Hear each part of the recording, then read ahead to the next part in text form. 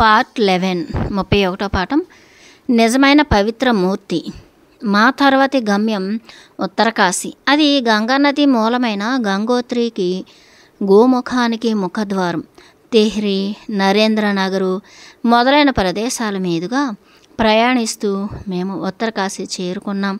తెహ్రీ గుండా నడుస్తూ ఉన్నప్పుడు యోగి రామతీర్థులు పూర్ణ నైరాశ్యంతో నదిలోనికి దుమికి ఆత్మహత్య చేసుకున్న ప్రదేశాన్ని బాబాజీ చూపించారు.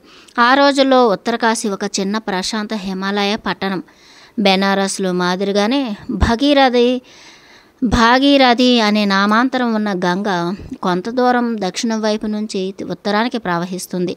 ఇక్కడ కాశీ అని కూడా పిలుచుకునే బెనారస్లో మల్లెనే ఇక్కడ కూడా విశ్వనాథ దేవాలయం అని చెప్పుకునే పురాతన సుందర శివాలయం ఒకటి ఉంది. యోగీశ్వరుడైన శివుణ్ణి విశ్వప్రభువు విశ్వనాథుడు అని సరళమైన జీవన స్థితులను తృప్తిగా అనుసరిస్తూ అనుభవిస్తూ సంచరిస్తూ ధ్యానం చేస్తూ రాజకీయాల్లోకి పోటీల్లోకి తలదూర్చకుండా ప్రశాంతంగా బతుకుతూ ఉంటోంది. అక్కడ రెండో మూడో అన్న క్షేత్రాలున్నాయి. వాటిలో సాధువులకు రోజు రెండు పూట్ల అన్నదానం జరుగుతుంది. వీటిని ఈ అన్నక్షేత్రాలను కాళీ కంబ్లీవాలా ఆశ్రమము పంజాబ్ సింధ్ ఆశ్రమము నడుపుతూ ఉన్నాయి. ఏకాంతంగా ఉంటూ ఆధ్యాత్మిక అభ్యాసాలలో మునిగి తేలే వాళ్ళ కోసం చిన్న కుటీరాలు ఉన్నాయి టూకీగా చెప్పాలంటే ధ్యానశీలురికి ఆలోచనశీలురికి అది ఒక ఆదర్శ ప్రదేశం. ఇండియాలో కొన్ని ఆశ్రమాలు విద్యా సంస్థలు ఆసుపత్రులు మొదలైన వాటిని నడపడంలో బాగా అలసిపోయిన సన్యాసులు ఏకాంతంలో ఉండి తమను తాము ఉరిగి తమను తాము తిరిగి ఊర్జస్వంతులనుగా చేసుకోవడానికి వీలుగా ఆ ఆశ్రమాల వాళ్ళు నిర్ణీత సమయానికి ఉత్తర కాశీకి పంపుతూ ఉంటారు. బాబాజీ రెండు ప్రక్క ప్రక్క కుటీరాలను ఏర్పాటు చేయించారు. ఒకటి ఆయన కోసము రెండోది నా కోసమని. మా ఇద్దరికి సాదా భోజనం తీసుకురావడానికి నేను పంజాబ్ సింధు అన్నక్షేత్రానికి రెండుసార్లు వెళ్ళాను. బాబాజీ అరుదుగానే తినేవారు. ఆయన కోసం తెచ్చింది చాలా వరకు కుటీరానికి దగ్గరగా ఉన్న అడవుల్లో చేరే ఊరకొక్కలకు పెడుతూ ఉండేవారు. ఆయన ఆ కుక్కలను ప్రేమించేవారు. ఆ కుక్కలు ఆయనను ప్రేమించేవి. వేదాధ్యయనంలో ముఖ్యంగా సామవేదంలో విశేష ప్రజ్ఞావంతుడు తన శిష్యుడైన కృష్ణానంద శర్మ గారిని నాకు సంస్కృత పాఠాలు నేర్పడానికి బాబాజీ పురమాయించారు. మేము వచ్చిన రెండు వారాల తర్వాత నన్ను ఉత్తర కాశీలో ఏప్రిల్ మధ్య దాకా ఏడు నెలల వరకు ఉండమని ఆదేశిస్తూ బాబాజీ గంగోత్రికి వెళ్ళారు. ఆయన తిరిగి వచ్చినప్పుడు మేమిద్దరం కలిసి గంగానదికి మూలమైన గోముఖానికి నడిచి వెళ్ళి అక్కడ నుంచి తపోవనానికి వాసుకి సరస్సుకి వెళ్ళాలి. ఉత్తర కాశీలో నేనున్న సమయం నా జీవితంలో మహాద్భుత అనుభవాన్ని కలిగించింది. బాబాజీ నాకు నేర్పిన యోగ ప్రక్రియలను అభ్యసించడం సంస్కృత తరగతులను తరగతులకు హాజరు కావడమే కాకుండా అనేక రకాల సాధువుల సాంగత్యం చాలా ఆశ్రమాలను దర్శించడము కూడా జరిగింది.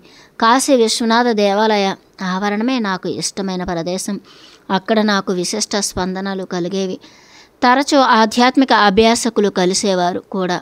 గర్భగుడిలోంచి ఇతరులకు వచ్చిన క్షణం నుంచి గాఢ ధ్యానంలోకి ప్రవేశించేవాడిని అక్కడ ఆ ఆవరణలో కూర్చొని ధ్యానం చేసుకోవడానికి ఒక ప్రశాంతపు మూలను ఎంచుకున్నాను. అక్కడే మాధ్యాహ్నిక మాధ్యాహ్నిక భోజనానికి వెళ్ళే వేళ అయ్యేంత వరకు ఉండేవాడిని ఒక ఒకసారో రెండుసార్లు అక్కడి పూజారుల్లో ఒకరు నన్ను తిరిగి జాగ్రత్త అవస్థకి తీసుకుని రావాల్సి వచ్చింది. ఒకసారి నిజంగా గాఢమైన ధ్యానం తర్వాత నేను కళ్ళు తెరవగా తెరవగానే భయంకరమైన జుత్తుగుత్తులు నెత్తు నెత్తుటితో నిండిన కళ్ళు ఉన్న ఒక దిగంబరుడు నా పక్కనే మోకరిల్లి కూర్చుని నేను ఒక వింత నమూనా అన్నట్టుగా పరీక్షించ పరీక్షిస్తుండగా పరీక్షిస్తుండడం చూసి ఉలిక్కి పడ్డాను. నా తెరచిన కళ్ళలోకి తొంగి చూశాడు అతను నేను ఒక ఎక్స్రే యంత్రం ముందు ఉన్నాననిపించింది. తర్వాత బోసి నవ్వుతో అతను నాట్యం చేయడం మొదలుపెట్టాడు. పిచ్చివాడిలా సైగలు చేస్తూ సిద్ధోహో సిద్ధో భాలో భాలో హోయి గయీలు అని గట్టిగా అరవడం ప్రారంభించాడు. నేను నిల్చొని అతనితో మాట్లాడబోయే లోపులో అతను మందరంగా ఎలవేసి ఆవరణ నుంచి బాణంలాగా దూసుకుపోయి అదృశ్యమైనాడు. అక్కడ రామకృష్ణ ఆశ్రమ వర్గపు పెద్ద సన్యాసి ఒకరున్నారు. ఆయన ఉత్తరకాశీలో ఒక రెండేళ్ళ రెండు రెండు నెలల ఏకాంతవాసాన్ని గడుపుతున్నారు. మేము గొప్ప మిత్రులయ్యాం. తరచూ మేమిద్దరము కలిసి ఆలయ ఆవరణంలోకి ధ్యానం చేయడానికి వెళ్ళేవాళ్ళం. ఆ రోజున ఆయన నా నుంచి ఏమంత ఎక్కువ దూరంలో లేడు. కనుక అప్పుడు జరిగిందంతా కల్లారా చూశాడు. అంచేత నేను ఆయన దగ్గరకు వెళ్ళి దీని అర్థం ఏమిటని అడిగాను. ఎప్పటిలాగానే ఆ స్వామి మెత్తగా మాట్లాడుతూ ఆయన దివ్య ప్రేమతో ఉన్మత్తుడై పరమహంస అనుకుంటాను. ఆయన ఉచ్చరించిన శబ్దాలన్నీ బంగ్లా భాషమే. బంగ్లా భాషవే. సిద్ధో అంటే బాగా ఉడికినది. లేకపోతే దాని అర్థం సిద్ధుడు కావచ్చు. అంటే సఫల యోగి అని. బాలో అంటే గొప్ప అని. కానీ మంచి అని కానీ అర్థం. హోయి గయీలు అంటే అయింది జరిగింది అని అర్థం. అతను నీ ఆధ్యాత్మిక స్థితిని సూచిస్తూ ఆ మాటలు అన్నట్టయితే నువ్వు చాలా అదృష్టవంతుడివనే నేను అంటాను. ఆ రోజున నువ్వు నాతో మాట్లాడుతూ చెప్పిన గొప్ప బాబాజీ చెప్పిన గొప్ప బాబాజీ నీ గురువు. నిన్ను బాగా పురోగమించిన ఆధ్యాత్మిక స్థితికి తెచ్చారు. నిన్ను సమాధిలో నిండుగా పరికిస్తుంటే నువ్వు నిస్సంశయంగా ఉచ్చ చైతన్య స్థితిలో ఉన్నావనిపిస్తోంది నాకు. మా సన్యాసి వర్గాన్ని స్థాపించిన స్వామి వివేకానంద గారి గురువు శ్రీరామకృష్ణ పరమహంస ఈ మాటలే ఉపయోగించేవారు. ఆయన ఒక ఆధ్యాత్మిక జిజ్ఞాసుని జాగ ఆయన జిజ్ఞాసుని జాగ్రత్తగా పరీక్షించి ఆయన సంతృప్తి చెందితే సిద్ధు సిద్ధు బాగా పరిపక్వమైంది బాగా పరిపక్వమైంది అనేవారని చెబుతారు ఈ వ్యక్తి కూడా ఆ మాటలని ఉపయోగించడం చూసి నాకు ఆశ్చర్యం వేసింది అని అర్- అన్నారు. దశనామి వర్గానికి చెందిన లక్ష్మణపురి అనే ఒక సన్యాసి ఒక రోజున నాతో ఆధ్యాత్మికంగా బాగా ఉన్నత స్థాయికి చేరుకున్న ఒక పవిత్రమూర్తి నది ఒడ్డున తిరుగుతూ ఉన్నాడని చెప్పాడు. అంతకుముందే అతన్ని ఎరిగిన సన్యాసి ఒకడు ఉత్తర కాశీని దర్శించాడు. ప్రసిద్ధికెక్కిన మఠాల్లో ఒకదానికి చెందిన ఇతను సంచార సాధువును చూసినప్పుడు ఆయన పాదాల మీద సాగిలపడ్డాడు తర్వాత అతను ఆ సాధువు పూర్వ చరిత్రను కొంతమందికి చెప్పాడు కూడా. అతని అభిప్రాయంలో ఈ పవిత్రమూర్తి మౌలికంగా ప్రసిద్ధ శంకరాచార్యులు స్థాపించిన పశ్చిమ భారతదేశంలోని సంపన్న ప్రఖ్యాత దశనామి వర్గపు మఠానికి చెందినవాడు. ఆ మఠ పీఠానికి అధిపతి కావలసిన సమయం వచ్చేసరికి ఆయన అక్కడి నుంచి అదృశ్యమవుతూ వివరణగా ఒక పత్రంలో ఆ పీఠాధిపతి పదవికి అనుబంధమైన డాబు సరితనము ప్రత్యేకమైన హోదా తనకి ఇష్టం లేదని తెలియజేశారు. తాను తన మానాన తానే పోతున్నానని చెబుతూ పరమాత్మ ఏకైక ఆశ్రయముగా తాను ఒక సంచార సన్యాసిని అవుతున్నానని చెప్పారు. ఆయన దండిస్వామిగా ఉండేవారు. అంటే తన విశిష్టమైన దర్జాను హోదాను చూపించే దండాన్ని పట్టుకొని ఒక బ్రాహ్మణ సన్యాసి అని అర్థం.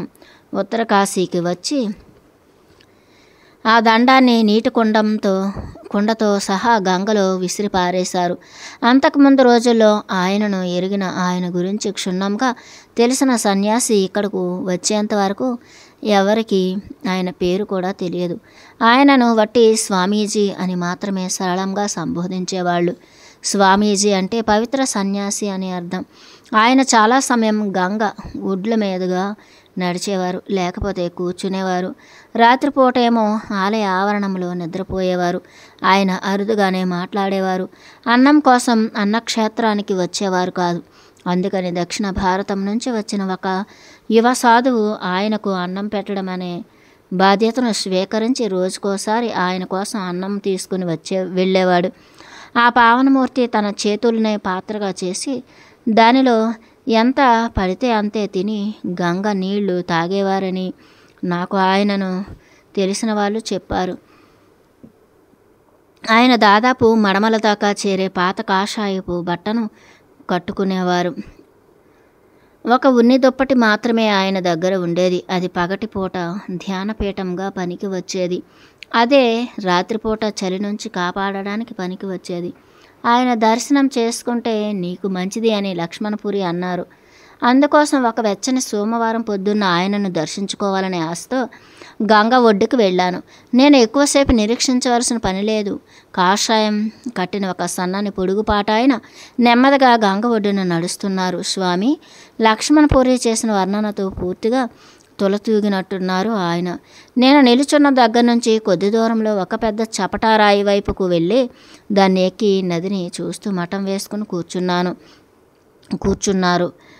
నేను ఆయన దగ్గరకు పోవడానికి అవసరమైన ధైర్యాన్ని పుంజుకొని నడిచి వెళ్ళి నిశ్శబ్దంగా రాతి దగ్గర నిలుచున్నాను. ఆయన నా వైపుకు తిరిగారు. మహాభక్తితో ఆయనకు సాగిలపడి నమస్కరించి మౌనంగా ఉన్నాను. ఆయన ఎప్పుడో కానీ మాట్లాడారని చెప్పడం బట్టి నేను ఆయనను అలజడి పెట్టకు పెట్టదలుచుకోలేదు. కానీ అనుకునేదే జరిగింది అనుకోనిది జరిగింది. ఆయన మాట్లాడారు. ఆయన మృదువుగా నీ పేరేమిటి? అని అడిగారు. మధు అని నేను చెప్పాను. అయితే నువ్విక్కడేం చేస్తున్నావు? ఏమైనా నేర్చుకుంటున్నావా? సత్యాన్ని అన్వేషిస్తున్నాను అని అన్న నేను అన్నాను ఆయన కళ్ళలో దయ తొనికిసలాడింది. పాపం కుర్రాడా? అది చాలా కఠినమైన పని నాయన. నేను చాలా ఏళ్ళు దానికోసం కష్టపడ్డాను. ఇప్పుడు నేను డెబ్బై ఏళ్ళవాడిని నేను నా దండాన్ని కూడా విసిరిపారేశాను. సావకాశ పడిందాన్నే సావకాశ పడిందాన్నే తింటా తింటున్నాను. తింటుంటాను. అయినప్పటికీ సత్యం చేతికి చిక్కట్లేదు. వేదాంత వేదాంతం మీద దొరికే ప్రతి పుస్తకాన్ని అధ్యయనం చేశాను. అయినా బ్రహ్మాన్ని కను కనుక్కోలేకపోయాను. నీకెవరైనా గురువు ఉన్నారా అని అడిగిన అడిగారు ఆయన. అవునండి అని సగర్వంగా చెప్పాను. ఆయన చాలా అద్భుతుడు మహిమా మహామహితాత్ముడైన శ్రీ గురు బాబాజీకి ప్రత్యక్ష శిష్యుడైన నేను అదృష్టవంతుణ్ణి పురాణ ప్రసిద్ధుడైన బాబాజీ గురించి నేను విన్నాను.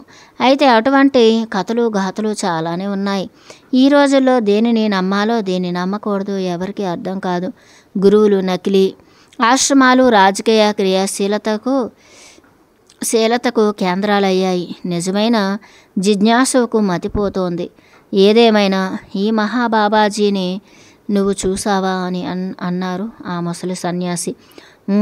ఒక్కసారి చూశాను. నేను బాబాజీ అని పిలిచే మా గురువు గారు తిరిగి ఇక్కడకు వచ్చినప్పుడు మీకు నప్పుతుందంటే మిమ్మల్ని చూడమని ఆయనను నేను ప్రార్థిస్తాను అని నేను అన్నాను కొన్ని వారాల క్రితం వరకు నాకు సాయం కావాలన్న మాటలు ఒప్పుకోవడానికి వీల్లేనంత సగర్వం గర్వంగా ఉండేవాడిని కానీ ఇప్పుడేమో సాయాన్ని కోరడానికి ఇష్టపడుతున్నాను. ఎవరికి తెలుసు ఈ శరీరం ఇంకెంతకాలం పాటు ఉండగలదో. దయచేసి తప్పకుండా ప్రార్థించు. నేను ఈ రోజున చాలానే మాట్లాడాను. నీ దారిన నేను నువ్వు వెళ్ళు నాయనా అని అంటూ ఆయన ఆ సమావేశాన్ని అకస్మాత్తుగా తుంచేశారు. నేను సాగిలపడి నమస్కరించి వెళ్ళిపోయాను. బాబాజీ ఉత్తర కాశీకి తిరిగి రాగానే ఆయనను ఆ పావనమూర్తి దగ్గరకు తీసుకుని వెళ్ళాను. కానీ ఆ విషయం కన్నా ముందుగా మా సంస్కృత మాస్టారు కృష్ణానంద శర్మ గారు తైత్రేయ ఉపనిషత్తుని చదివే తీరును చెప్పే మొదటి పాఠాన్ని చెప్పినప్పుడు ఆయన పడ్డ ఆశ్చర్యాన్ని గురించి చెప్పి తీరాలి. మొదటి పాఠం కాగానే ఒక్కసారి మాత్రం వినగానే నేను పూర్తిగా సరైన ఒత్తిడితోనూ సర్వ స్వరంతోనూ చదవగలుగుతున్నా చదవగలుగుతున్నానని ఆయన గుర్తించారు. ఇంతకుముందు అధ్యయన తరగతులే తరగతులు ఏమైనా చేరువా చేరేవా అని అడిగితే నేను లేదని చెప్పినప్పుడు ఆయన నేను అబద్ధం చెబుతున్నానని అనుకున్నారు. నేను ఆయనతో అబద్ధం చెప్పాల్సిన కారణమేమీ లేదని చెప్పాను. అది నాకు చాలా సహజంగానే వస్తున్నట్టు అనిపిస్తోందని చెప్పాను. చివరకు ఆయన నిస్సహాయతను కనుబరుస్తూ భుజాలను కదిలిస్తూ కదిలిస్తూ బహుశా నువ్వు నీ పూర్వజన్మలో అధ్యయనం చేసి ఉంటావు. నాకు మరో వివరణ ఏమీ కనిపించట్లేదు. లేకపోతే బాబాజీ ఇంద్రజాలం కావచ్చని అన్నారు. భగవద్గీతను కంఠస్థం చేయడం అన్న విషయంలో ఉద్దీపనం కలిగించే ఆహారం తాలూకు ప్రాముఖ్యాన్ని నేను తెలుసుకున్నది కూడా ఉత్తరకాశీలోనే గీతా పఠనం నాకు చాలా ఇష్టం. బాబాజీ తాను తన మాస్టారు నుంచి నేర్చుకున్నానన్న సుందరమైన పద్ధతినే ఆయన నాకు నేర్పారు. కానీ నేనెప్పుడు పుస్తకాన్ని ఎదురుగానే పెట్టుకునే వాణ్ణి నాకు సంబంధించినంత వరకు దేన్ని కంఠస్థం చేయడం అన్నా అది పీడకలే నాకు. దేనినైనా అది చెప్పే విషయాన్ని తెలుసుకోవడానికి చదవడం అంటే నాకు ఆనందంగానే ఉండేది. కానీ దాన్ని గుర్తుంచుకోవడం అంటే మాత్రం అదొక కాల కాలయాపనమని శక్తిని వ్యర్థం చేసుకోవడమని అనుకుని చేసుకో చేసుకోవడం అనుకుని అనుకునేవాడిని కంఠస్థం చేయడం అంటే నాకు ఉన్న ఈ ద్వేషాన్ని ఉత్తరకాశీలో దాటగలిగాను. కొంత సమయంలోనే గీతను కంఠస్థం చేయగలిగాను. అది జరిగిన వైనం ఇదిగో ఈ విధంగా. ఇక్కడి చాలా ఆశ్రమాలు తరచుగా సమృద్ధమైన విందులను ఏర్పాటు చేస్తూ ఉంటాయి. వాటికి సాధువులను బ్రహ్మచారులను ఆహ్వానిస్తూ ఉంటారు. తినడానికి ఉపక్రమించే ముందు అతిథులైన సాధువులందరూ గీతలోని పదిహేనో అధ్యాయమైన పురుషోత్తమ ప్రాప్తి యోగాన్ని పఠిస్తారని అందరూ ఎదురు చూస్తూ ఉంటారు. పిన్న పెద్ద అయిన సాధువుల్లో చాలామందికి ఆ పదిహేనో అధ్యాయం కంఠస్థమే. ఎవరికైతే రాదో ఆ కొద్ది మందిని హీనంగా చూసేవాళ్ళు. అంచేత రెండు విందులైన తర్వాత దాన్ని కంటత పెట్టాలని నిశ్చయించుకున్నాను. మూడో విందు దగ్గర ఏదో విధంగా సాయం పెట్టగలిగాను. నాలుగో విందులో నేను అనార్గలంగా చెప్పగలిగాను. అటువంటి సుష్టు భోజనానికి పదిహేనో అధ్యాయం వల్లివేయడం అన్నది చాలా తక్కువ వెలనీయడమే. ఆ విందుల్లో ఒకదానిలో స్వామి వెంకటేశానందుని కలిశాను. సాయంత్రం ఆయన నన్ను తన కుటీరానికి రమ్మనమని పిలిచారు. ఋషికేశం తాలూకు స్వామి శివానంద సరస్వతి ప్రముఖ శిష్యుడైన. ఆయన గారి లోతైన వేదాంతిక జ్ఞానానికి అంతర్దృష్టికి అందరూ చాలా గౌరవిస్తారు ఆయనను. మొదటి కలయిక తర్వాత మేమిద్దరము చాలా సాయంత్రాలే గడిపాం. ఆయనను చేసిన చర్చల నుంచి నేను చాలా లాభాన్నే పొందాను. చాలా ఏళ్ళ తరువాత స్వామి వెంకటేశానందకు జి జీకే కృష్ణమూర్తి గారికి మధ్య జరిగిన ఉల్లాసవంతమైన చర్చను నేను వినడం జరిగింది. ఆ చర్చలో ఎవరికైనా గురువు అవసరమని స్వామి వెంకటేశానంద వాదించారు. ఎప్పటి మాదిరిగానే జిడ్డు కృష్ణమూర్తి గారు గురువు అనేవాడు అనవసరమనే కాదు.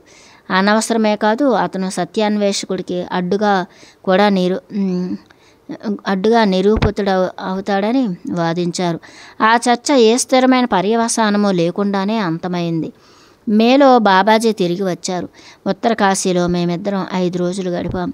తర్వాత గంగానది మూలమైన గోముఖానికి వెళ్ళడానికి సమయం వచ్చింది. బాబాజీ వచ్చిన తర్వాత రెండో రోజున పూజనీయులైన ఆ ముసలి పవిత్రమూర్తితో నా సమావేశాన్ని గురించి చెప్పాను ఆయనకు. నాకు తెలుసును. అయితే నేను ఆయనను చూడాలని నువ్వంటావు అవునా? మీరు మాత్రమే ఆయనను సాయం చేయగలరని ఆయనకు సాయం చేయగలరని నేను అనుకుంటున్నా నేను అంటున్నాను అన్నాను అన్నా అన్నాను నేను. మర్నాడు బాబాజీ నన్ను తీసుకుని బయలుదేరారు. ఆ పావనుని కలుసుకోవడానికి మేము వెళ్ళాం. మేము అక్కడికి చేరినప్పుడు ఆయన తన ఇష్టమైన రాతి మీద కూర్చుని ఉన్నారు. మమ్మల్ని చూసి నిల్చుని నేల మీదకు దిగి వచ్చారు. మేము చెరువు కాగానే ఆయన చేతులు జోడించి బాబాజీకి నమస్కరించారు. నేను ఆయనకు అభివాదం చేస్తూ అదే పని చేశాను. స్వామీజీ అభివాదాలు. మనం మాట్లాడుకుంటూ ఉంటే పంపించేయమంటారు. మ- పంపించేయమంటారా? అని బాబాజీ అడిగారు. యోగి మహారాజ్ మీకు ప్రణామాలు. అతన్ని ఉండనివ్వండి. బహుశా ఈ చర్చ నుంచి అతను లాభపడవచ్చునేమో. నాకే సమస్య లేదు అని ఆ ముసలి సన్యాసి అన్నారు. అంచేత నేను ఆ చర్చా సమయంలో ఉండడానికి ప్రత్యేక అవకాశాన్ని పొందినవాణ్ణయ్యాను. మేము అక్కడే కూర్చున్నాం.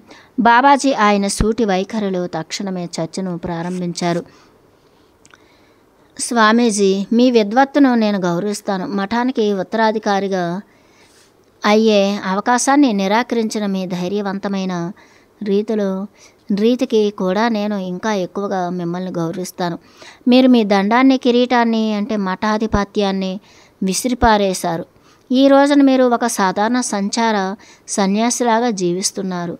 అది చాలా గొప్ప విషయమేమి కానీ గొప్ప విషయమే విషయమే కానీ మీ నెత్తి మీద మీరు మోస్తున్న జ్ఞాన విద్వద్భారాలు యథార్థాన్ని అర్థం చేసుకోవడంలో బలవత్తరమైన అడ్డంకి అయి కూర్చుని ఉండడం వల్ల మీరు ఎదురు తెన్నులు చూస్తున్న బ్రహ్మానికి మీరు బహుదూరంగానే ఉండిపోయారు. ఇంకా చెప్పడం సాగించమంటారా? అని బాబాజీ మధ్యలో అన్నారు. కానివ్వండి మీరు చెప్పేదేదో నేను అందుకోవడానికి ఉపక్రమిస్తున్నాను. మీరు సంపాదించిన జ్ఞానంతో మీరంతా పూర్తిగా నిండిపోయారంటే సత్యాన్ని స్వీకరించడానికి మీలో చోటే లేదు. అది లోపలికి రావడానికి వేచి చూస్తూ ఉంది. మీ మీద ఉన్న ఆ భారాన్ని తీసేయండి. దానిని అంతని తోసేయండి. శూన్యాన్ని కౌగులించుకోండి. అప్పుడు మీరు దాన్ని పుష్కలంగా స్వీకరించగలుగుతారు. ఈశావాస్యోపనిషత్తులో ఉన్న శ్లోకం విద్యను ఉపాసించేవాడు మరీ ఎక్కువ చీకట్లోకి ప్రవేశిస్తాడు అనే వాక్యం అసలైన అర్థం ఏమిటబ్బా అని నేను విస్తుపోయే వాణ్ణి. విద్య అంటే ఇక్కడ అపరావిద్య. లేక అముఖ్య జ్ఞానం మొదలైనవని చెప్పే సాంప్రదాయక వివరణలు నేను ఇప్పుడు ఒప్పుకోలేకపోయాను. ఋషులు సూటుగా చెప్పేవారు కనుక వాళ్ళు చెప్పదలుచుకున్నది అపరావిద్య అయితే అదే మాట వాడి ఉండేవారుగా అని అనుకున్నాను. ఇప్పుడు నేను అర్థం చేసుకోవడం మొదలు పెడుతున్నాను అయ్యా కొనసాగించండి అని ఆ సన్యాసి అన్నారు. మీరు సరిగ్గా అన్నారు. అపర అనే శబ్దాన్ని ఎందుకు వాడాల వాడలేదంటే విద్యకు విశేషణాన్ని వాడవలసిన అవసరమే లేదు. కనుక నిజమేమిటంటే విద్యే దానికదే కేవలం సత్యాన్ని అర్థం చేసుకోవడానికి అడ్డంకి. నేను వివరిస్తాను. దీన్ని మీరు చూడండి. నేను దేని గురించిన జ్ఞానాన్ని సంపాదించాలని మొదలుపెట్టినప్పుడు ఏ ప్రక్రియ ఇమిడి ఉంది దానిలో? మొదట నేను ఆ విషయాన్ని పరిశీలిస్తాను తర్వాత అర్థం చేసుకుంటాను తర్వాత దాన్ని నేను జ్ఞప్తిలో పెట్టుకుంటాను. అవునండి అని బాబాజీ అన్నారు. నిజమేనండి. నాకు ఎక్స్ లేక వై గురించి తెలుసునని నేనంటే దాని నిజమైన అర్థం ఏమిటంటే ఆ అర్థం చేసుకున్న విషయాన్ని నేను నా సం- ఆ నా స్మృతిలో ఉంచుకున్నానని తక్షణమే దాన్ని గుర్తుకు తెచ్చుకోగలనని. అది ఏ జ్ఞానమైనా సరే ఏ విద్య అయినా సరే జ్ఞానం అంటే ఇంతే. అంటే విద్య జ్ఞానం అంతా స్మృతే లేదా ధారణ అనే శబ్దానికి అర్థం. అది మునుపటి వస్తువని.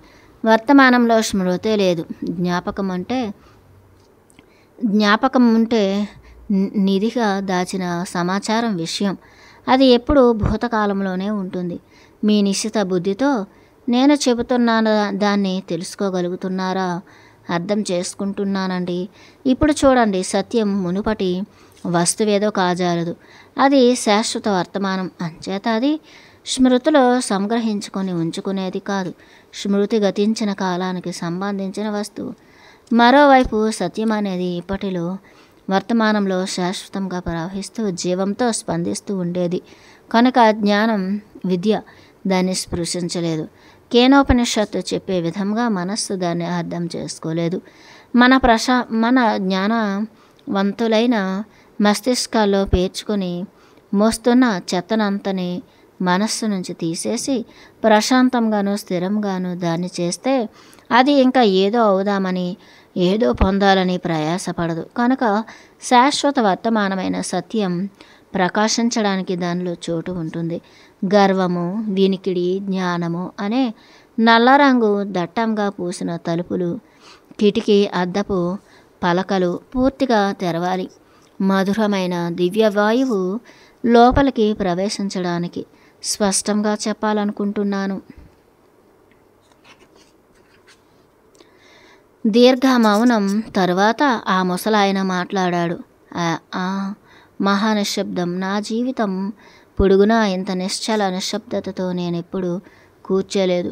ప్రత్యేకంగా ఏమీ చేయకుండా నదిని పరికిస్తూ ఉన్నప్పుడు విశుద్ధ విశుద్ధాకాశాన్ని చేసేటప్పుడు ఒకసారో రెండుసార్లు దాని గుమ్మములో చేరినట్టు మాత్రం నేను ఒప్పుకుంటాను. ఆ నైశబ్ద్యం ఆ నిశ్శబ్ద్యం మీకు సహజంగానే దానికదే సిద్ధిస్తూ ఉన్నప్పుడు దానికి అడ్డుపడకండి. నిశ్చలంగా ఉండండి అంతే. శ్రీ గురు బాబాజీ మీరు సత్యాన్ని కనుక్కో కనుక్కొనేలాగా మిమ్మల్ని దీవించాలి. మిమ్మల్ని మళ్ళీ నేను చూడను. కొన్ని రోజుల్లో మేము గోముఖానికి వెళ్తాం అని బాబాజీ లేచి నిలుచుని ఆ ముసలాయనకు వీడుకోలు చెప్పారు. కళ్ళలో నీళ్ళతో ఆయన బాబాజీ పాదాల మీద సాగిలపడడానికి ప్రయత్నిస్తుంటే బాబాజీ ఆయన భుజాలను పట్టుకుని ఆపి ఆ పనిని చెయ్యనీయలేదు. మీరు సన్యాసి వర్గానికి చెందిన వాళ్ళు కాషాయాన్ని కట్టారు. అదీగాక మీరు చాలా శ్రద్ధాపరులు. బయట ప్రపంచం దృష్ట్యా మీరు నాకన్నా పెద్దవాళ్ళు. అంచేత మిమ్మల్ని నా కాళ్ళ మీద సాగిలపడడానికి ఒప్పుకోలేను. మీ కళ్ళలో నేనంటే ప్రేమ కనిపిస్తోంది. అదే చాలు అని బాబాజీ అన్నారు. గంగ ఒడ్డు మీద ఆయన నిలుచుని ఉండగా మేము వదిలి వెళ్ళిపోయాం. ఆయన కళ్ళు మేము కనిపిస్తున్నంత వరకు మా వెంటనే ఉన్నాయి. బాబాజీ నన్ను కూడా సత్యం వైపుకు నడిపించండి. ఈ రోజున నేను ఒక గంభీరమైన విషయాన్ని నేర్చుకున్నాను. మీరు చాలా దయా దయాళువులు అని నేను అన్నాను బాబాజీ నవ్వుతూ తన కుడి చేతిని నాభజాలు చుట్టూ చుట్టారు. ప్రతిదీ తగిన సమయంలో వస్తుంది. గురువారం పొద్దున్న మనం గోముఖానికి ప్రయాణం చేస్తామని అన్నారు. ముప్పై రెండో పాఠం శ్రీ విద్యా దీక్ష. తర్వాతి గురువారమే గంగ అనే మరో పేరున్న భగీరథి ఉత్పత్తి స్థానమైన గోముఖానికి బయలుదేరాం. నగర రాజవంశీయుడైన వంశజ్ఞుడైన భగీరథి భగీరథుడు ప్రేరణతో దివి నుంచి భూకి గంగ దిగి వచ్చింది. కనుక దానికి భారతీయ పురాణాల్లో భగీరథి అని కూడా పేరు వచ్చింది. ఆ కథ తీరు ఇలాగా. వేల సంవత్సరాల క్రితం హిమాలయాలు ఇంకా చిన్నవిగా ఉన్నప్పుడు శక్తివంతుడైన సగర మహారాజు చాలా యుద్ధాలే చేసి బహురాజ్యాలను గెలిచాడు. అప్పుడు ఆయన అశ్వమేధ యజ్ఞం చేశాడు. ఒక గుర్రాన్ని చుట్టుపట్ల ఉన్న రాజ్యాల్లో విచ్చలవిడిగా తిరగనిస్తారు. ఎవరైనా దాన్ని పట్టుకుంటే వాళ్ళు రాజుగారి సైన్యంతో యుద్ధం చేసి గుర్రాన్ని తమ సొత్తుగా కైవసం చేసుకోవాలి. దేవేంద్రుడైన ఇంద్రుడు సగర యజ్ఞం సంపన్నమైతే ఆ రారాజు ఆ రాజు చాలా శక్తివంతుడైపోయి దేవరాజ్యాలను కూడా కైవసం చేసుకొని తనను సింహాసన భ్రష్టుడిగా చేయవచ్చునని భయపడ్డాడు. అందుచేత తన మాయాశక్తులను ఉపయోగించి ఆ గుర్రాన్ని దొంగిలించి దానిని కపిల మహర్షి ఆశ్రమం దగ్గర దాచాడు. ఆ గుర్రం ఆచూకి పట్టుకుందామని వెతుకుతున్న సగర పుత్రులు అరవై వేల మంది చివరకు కపిల మహర్షి ఆశ్రమానికి చేరుకొని అక్కడ ఆ గుర్రాన్ని కనుక్కొన్నారు. గుర్రాన్ని దొంగిలించడానికి బాధ్యుడు ఈ ఋషే అని అనుకుని వాళ్ళు ఆయనకు గుణపాఠం నేర్పాలని భయ బయట భయ భయపెట్టారు. మహర్షి గాఢ ధ్యానంలో ఉన్నారు. ఆ అరవై వేల మంది గగ్గోలికి ధ్యానం చెదిరి ఆయన కళ్ళు తెరిచారు. అరుదైన క్రోధ ప్రకటనతో ఆయన చూపుకి చూపుకే ఒక్కరు తప్పించి అందరూ బుగ్గైపోయారు ఆ ఒక్క కొడుకు పశ్చాత్తాపం కారణంగా బతికిపోయాడు. అతని కొడుకు అంశుమంతుడు. అతను తన పెత్తండ్రుల ముక్తి కోసం తీవ్ర తపస్సు చేశాడు. కపిల మహర్షి గుర్రాన్ని తీసుకుపోనిచ్చారు. కానీ ఆ పెత్తండ్రుల ఆత్మలకు విముక్తి కలగాలంటే దివ్యనది దివ్యనది గంగా జలాలు నేల మీదకు దిగివచ్చి వారి బూడిదను తాకాలని నిర్దేశించారు. అంశుమంతుడు విశ్వ ప్రయత్నం చేశాడు కానీ గంగను భూమి మీదకు రప్పించడానికి ఒప్పించలేకపోయాడు. అతని కొడుకు దిలీపుడు కూడా ప్రయత్నించి విఫలుడయ్యాడు కానీ అతని పౌత్రుడు భగీరథుడు తన తీక్షణమైన తపస్సుతో దివ్య నదీమ తల్లి గంగా గుండెను జయించాడు. ఆవిడ నింగు నుంచి నేల మీదకు దిగి రావడానికి సమ్మతించింది. కానీ ఒక సమస్య వచ్చి పడింది. గంగా నేల మీదకు చేరేటప్పుడు శక్తివంతమైన ఆ నీటి తాకిడి మహోప్రద మహాప ద్రవాన్ని కలిగించవచ్చు. భూమికి అఘాతం ఏర్పడవచ్చు. గంగానది దిగేటప్పుడు భూమిని రక్షించ రక్షించగలిగేది ఒకే ఒక్కడు కైలాస పర్వతాన్ని అధిష్ఠించి ఉన్న మహాయోగి శివ మహాదేవుడు ఒక్కడే అంచేత భగీరథుడు శివుణ్ణి అధిష్ఠించి శివుణ్ణి తపస్సు ద్వారా అనునయించాడు. భగీరథుడి భక్తికి సంప సంతుష్టుడైన శివుడు తన శిరస్సు మీద వేగ బలాన్వితమము అల్లకల్లోలము అయిన గంగానది జలాలను గ్రహించి తన జటాచూటం ద్వారా వాటిని నెమ్మదిగా భూమి మీదకు వదిలిపెట్టడానికి అంగీకరించాడు. భగీరథుడు ఆవిడను ఈ విధంగా అవతరించడానికి ఒప్పించాడు కనుక గంగాదేవికి భగీ భాగీరథి అనే పేరు వచ్చింది. గోముఖం గంగ అవతరించిన ప్రదేశంగా పరిణింపబడింది పరిగణింపబడింది. గోముఖానికి తోవ గంగోత్రి గ్రామం భైరవ ఘాటీల ద్వారా సాగుతుంది. గంగాదేవికి అంకితమైన గుడి ఒకటి గంగోత్రి గ్రామంలో ఉంది. అక్కడ చాలా ఆశ్రమాలున్నాయి. వేసవి కాలమంతా చాలామంది సాధువులు గంగోత్రిలో ఉంటూ ఉంటారు. ఉత్తర కాశీకి దిగే ముందు గంగోత్రిలో గంగ పూర్తి వేగంతో ప్రవహిస్తూ ఉంటుంది. గంగోత్రి నుంచి ప్రకాశవంతమైన సుదర్శన శిఖరం కనిపిస్తుంది. మేము గంగోత్రిలో రెండు రోజులు గడిపాం. ఉద్దాస్ ఉద్దాసిన సాధువర్గంలోని జోనా అఖాడాకు చెందిన ఒక కుటీరంలో ఉన్నాం. కొండల మించి ఉరికి వస్తున్న నది గర్జన నన్ను బాగా ఆకర్షించింది. గంగోత్రి చేరడానికి మాకు నాలుగు రోజులు పట్టింది. మేము గోముఖ క్లిష్టయాత్రకు బయలుదేరే ముందు రోజు రాత్రి ధ్వని ముందు కూర్చుని ఉండగా బాబాజీ అకస్మాత్తుగా చెప్పారు. ఆ ముసలి సన్యాసి గంగ ఒడ్డున కూర్చునే పావనమూర్తి ప్రశాంతంగానూ నిశ్శబ్దంగానూ శరీరాన్ని వదిలేశారు అని. నేను ఆ విషయమై ఎక్కువ స్పష్టమైన వివరణ అడగడానికి ఉపక్రమిస్తే నన్ను ఆయన ఇప్పటికీ ఆ విషయమై ఇంకేమీ ప్రశ్నలు వేయవద్దని నివారించారు. ఆ ముసలి పవిత్ర మూర్తి గంగకు అభిముఖంగా తన ఇష్టమైన రాతి మీద కూర్చుని స్వానందమగ్నుడై నవ్వుతూ చనిపోయారని మేము గోముఖం నుంచి ఉత్తరకాశీకి తిరిగి వచ్చిన తర్వాత స్వామి లక్ష్మణపూరి చెప్పారు. మేము గోముఖానికి వెళ్ళిన నాలుగు రోజుల తర్వాత అది జరిగింది. ఉత్తరకాశీ ప్రభుత్వ వైద్యశాల తాలూకు వైద్యాధికారి అభిప్రాయం ప్రకారం ఆయన గుండె ఆగిపోవడం వల్ల చనిపోయాడు. మర్నాడు గంగోత్రి నుంచి గోముఖానికి తపోవనానికి ప్రయాసతో కూడిన మా యాత్రను మొదలుపెట్టాం. గంగోత్రి అనే పవిత్ర గ్రామం పదిలా వదిలామంటే చాలు అంతా నిశ్శబ్దమైపోతుంది. భాగీరథికి ఆ- ఆవల ఒడ్డున సహజమైన గుహలు చాలా ఉన్నాయి. నాలుగు గంటల్లో మేము చిరబాసాకి చేరుకున్నాం. ఆ ప్రదేశంలో ఉన్న చాలా దేవదారు వృక్షాల కారణంగానే ఆ దేవదారు చెట్ల తోటకు ఆ పేరు పెట్టారు.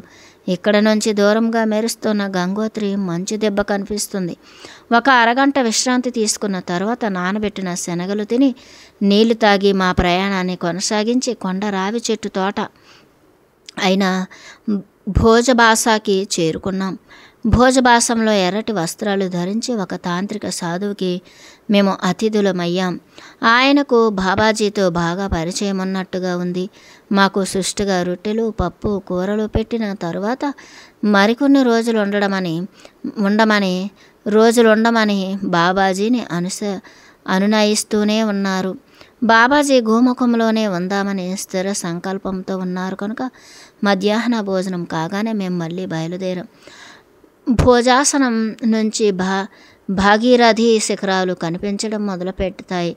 కొంత సమయమైన తర్వాత కడలి మట్టానికి ఇరవై ఒక్క వేల అడుగుల ఎత్తులో ఉన్న పిరమిడ్ రూపంలో సూచ్యగ్రస్తో సూచ్యగ్రస్తోపాకారంలో ఉన్న శివలింగ శిఖరాన్ని దర్శించాం. సుమారు ఒక గంట తర్వాత మేము గోముఖానికి చేరుకున్నాం.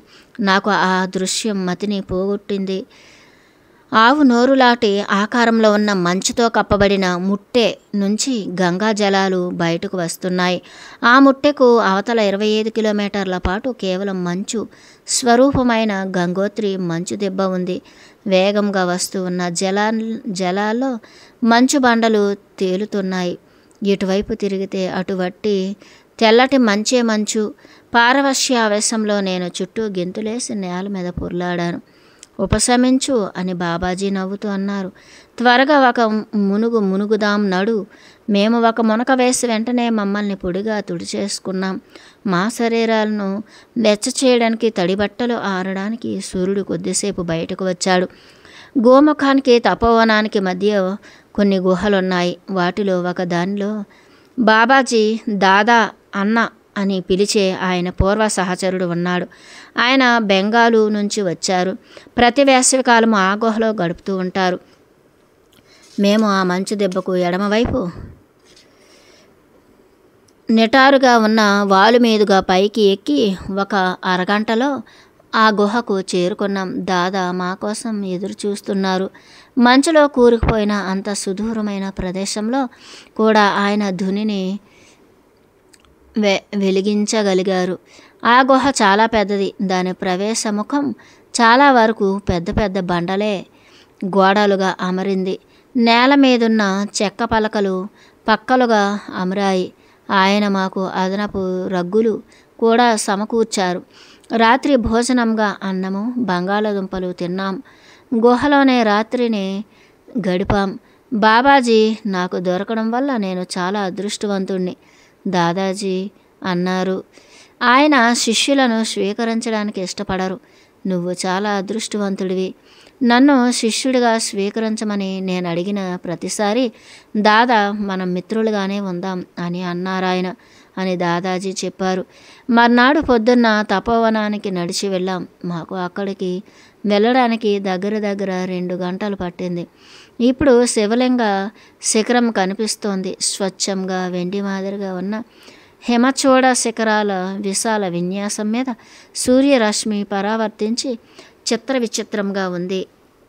కుడి ప్రక్కన భృగుపంత శిఖరము మేరువు ఉన్నాయి. శివలింగానికి ఎడమ పక్క భగీరథి శిఖరం ఉంది దానికి అవతల సతోపంత మొన ఉంది.